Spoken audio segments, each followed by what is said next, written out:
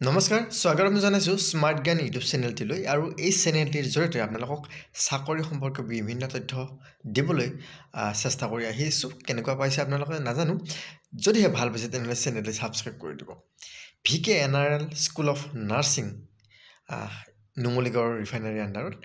ইয়াতে আপোনাৰ কেইটামান পষ্ট খালী হৈছে নাৰ্ছিং টিউটৰ পষ্ট বা হোষ্টেল ৱাৰ্ডেন পষ্ট বা এছিষ্টেণ্ট ৱাৰ্ডেন পষ্ট খালী হৈছে। ফিমেল ইণ্টাৰেষ্টেড কেণ্ডিডেটৰ বাবে। যিটো এম এ আপোনাৰ নাৰ্ছিং টিউটৰ পাঁচটা পষ্ট ওলাইছে কোৱালিফিকেশ্যন লাগিব এম এছ চি নাৰ্ছিং এক বছৰৰ এক্সপিৰিয়েঞ্চ থকা হ'ব লাগিব টিচিং বা ক্লিনিকেল এৰিয়াছ চেলাৰী হ'ব ত্ৰিছ হাজাৰ টকা এবছৰৰ বাবে প্ৰতিমাহে আৰু তাৰপিছত যেতিয়া প্ৰবেশ্যন পিৰিয়ডটো শেষ হ'ব তেতিয়া আপোনাৰ স্কেল লাগিব পঁচিছ হাজাৰ চাৰিশৰ পৰা তেষষ্ঠি হাজাৰ দুশ টকালৈ লগতে আদাৰ এলাউঞ্চ থাকিব আৰু হোষ্টেল দিব ছিংগল একমডেশ্যন ছেকেণ্ড পষ্টটো হৈছে হোষ্টেল ৱাৰ্ডেন এটা পোষ্ট আছে B S C in home science female candidate B S C in home science বা ডিপ্ল'মা ইন হাউচকিপিং বা কেটাৰিং পাঁচ বছৰীয়া এক্সপিৰিয়েঞ্চ থাকিলে ভাল চেলাৰী পঁচিছ হাজাৰ টকা এক বছৰ যেতিয়া প্ৰবেশ্যন পিৰিয়ড শেষ হ'ব তেতিয়া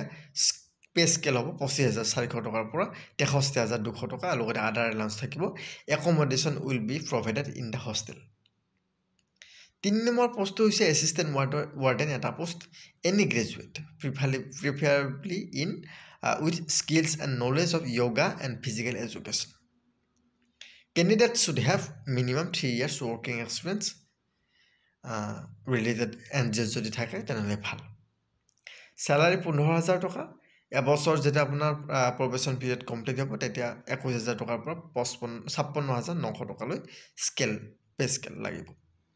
আৰু আদাৰ এলাউঞ্চখিনি থাকিব হোষ্টেলত আপোনাক একমডেশ্যন দিয়া হ'ব। Date of interview walk in interview হ'ব ডেট অফ ইণ্টাৰভিউ হৈছে আপোনাৰ তেইছ ফেব্ৰুৱাৰী তাৰিখ। Venue V K N R L school of nursing Numaligarh ৰাতিপুৱা নটা ত্ৰিছত ৰিপৰ্টিং টাইম টিউটৰৰ বাবে আৰু বাকী ৱাৰ্ডেন আৰু এছিষ্টেণ্ট ৱাৰ্ডেনৰ বাবে বাৰটা ত্ৰিছত সবিশেষ জানিবলৈ ৱেবছাইট চাওক W W W dot V K N R L nursing school dot edu dot in ভিডিঅ'টি যদিহে ভাল পাইছে তেনেহ'লে আপোনাৰ বান্ধৱীলৈ যিহেতু বান্ধৱীৰ বাবে একো নাই বন্ধু বান্ধৱীলৈ শ্বেয়াৰ কৰি দিবলৈ নাপাহৰিব। আৰু কমেণ্ট কৰি জনাব যদি কিবা সুধিবলগীয়া থাকে। ধন্যবাদ।